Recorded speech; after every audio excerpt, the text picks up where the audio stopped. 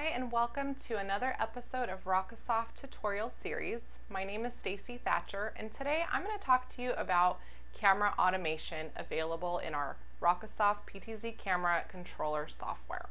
So PTZJoy PTZ camera controller actually has a lot of different camera automation tools that helps camera operators simplify um, their workflow saves you time, and it also um, eliminates error. But today's tool that I'm going to show you is our camera tracer.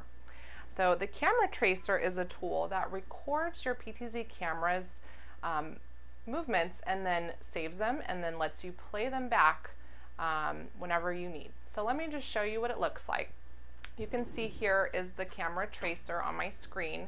Behind me, of course, is my little demo setup of cars, and then here you can see my two camera views um, pointing at the cars.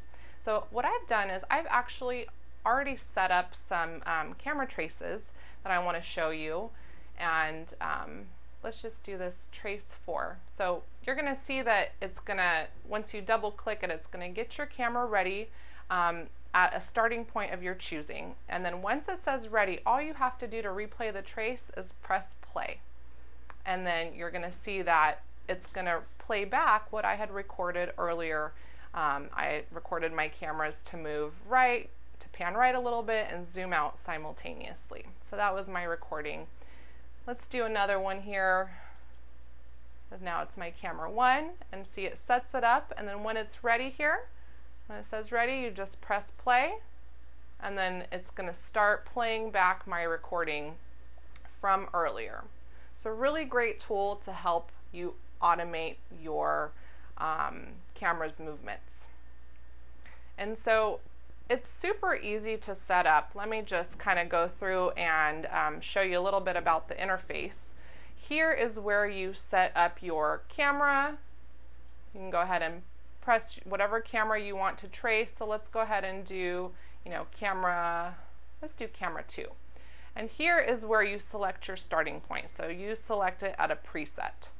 Um, let's go ahead and do preset 3 and it'll get it ready and all you have to do to start your trace here is start record. And then I'm going to go ahead and go ahead and record whatever action I want. Let's just stop there and then you say stop recording and you have your trace. So to do that you just save your trace and it's going to ask me to save it. And then to replay my trace, it was trace 7. Let's go ahead and replay it here. Is that the right one? Oh, wait a minute. That was my camera 2 trace 7. Here we go. Camera 2. And then once it's ready here, you just press play and it's going to play back the movement that we had just recorded. There we go. Okay. So a couple of other things about the camera tracers. You can also set this, your camera trace recordings to loop. Um, so that just means playback um, one after the other. Um, you can also get it to when you are ready to record, you can also set it here to, to start recording on the actual move of your joystick. Um, you can also, um, as you saw earlier, overwrite traces that you've previously made. You can delete them, you can edit them. Um, they are saved as a file, um, and so you can actually go in here and manually edit them if you would like.